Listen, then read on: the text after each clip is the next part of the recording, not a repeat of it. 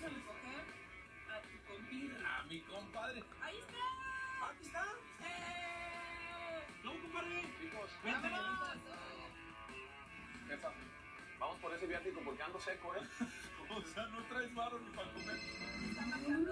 Muchachos, ¿cómo están? Hola, José Eduardo, ¿cómo qué gusto verte. Era hora, caray, te echaste mucho la huevita. Les tengo una serie de retos acuáticos muy divertidos. Pongan atención, este reto es muy complejo. ¿Plano? ¿En serio? Así que voy a ser muy, muy estricto al calificar. Bueno, pero en el agüita es menos agresivo. Aparte, qué sabroso. Nada mejor que en el agüita. Bien, Lobito, bien. Bueno, que gane el mejor, muchachos. Los voy a estar viendo desde aquí. Listo, José Eduardo. Los quiero ver triunfar.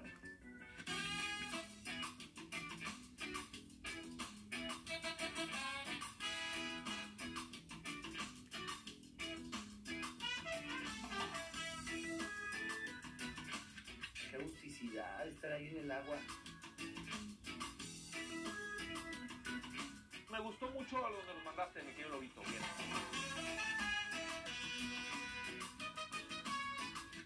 Que lo lleven al baile solo, solito. Primer reto. El que pase mejor el pasabanos acuático.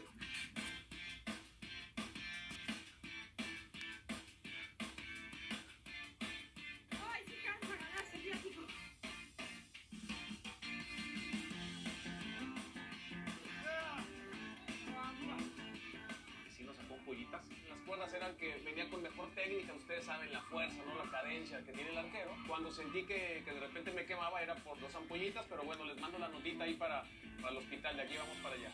Segundo reto. Quien tire la mejor chilena.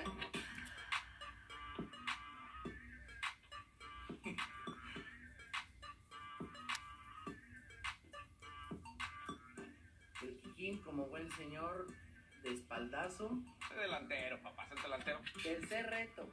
La mejor atajada.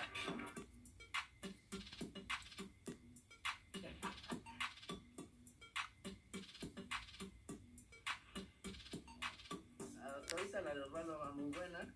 Quiero ver el brinco de esta mujer. ¿Por qué pone primero una pierna? Que se deje caer. La competencia ya se puso muy cerrada. Cada quien ya empieza a mostrar cuáles son sus fortalezas. Cada quien a lo suyo, señores. Cuarto reto. El que encuentre primero la pelotita amarilla, gana.